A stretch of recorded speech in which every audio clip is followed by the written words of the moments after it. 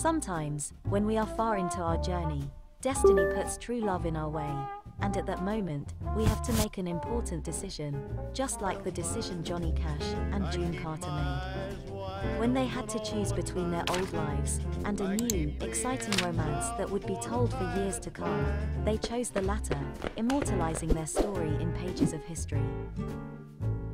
June Carter had been a prominent member of the country music scene since her childhood. Her success eventually led her to join the cast of the National Country Music Showcase, the Grand Ole Opry. When she met Johnny Cash, a fellow musician with an eventful past in the backstage of Opry, they were both married people with children, and never imagined that their relationship would ascend to anything beyond the scale of professional. But when has one ever been able to rein their heart? These two successful musicians began touring the country shortly after their first meeting. Carter began appearing in Cash shows as a duet partner and an entertainer, and the chemistry between the two was undeniable. Carter had already divorced from her first husband, but now she was married to a different man, and Cash's scale of problems were considerably larger than hers.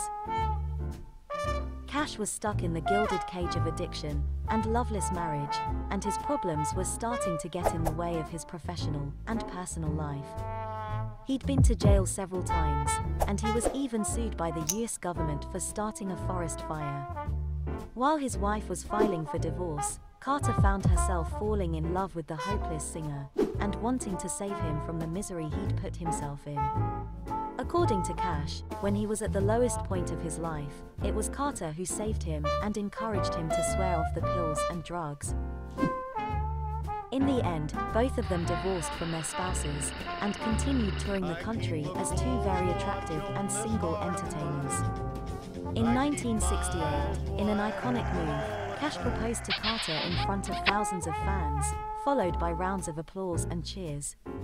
The two lovebirds officially wed just a few weeks later and remained with each other till the end of their lives.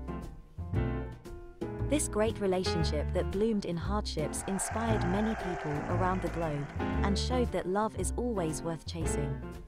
The two earned many musical awards throughout their marriage, and their legacy continued after death with a successful movie based off of their love story.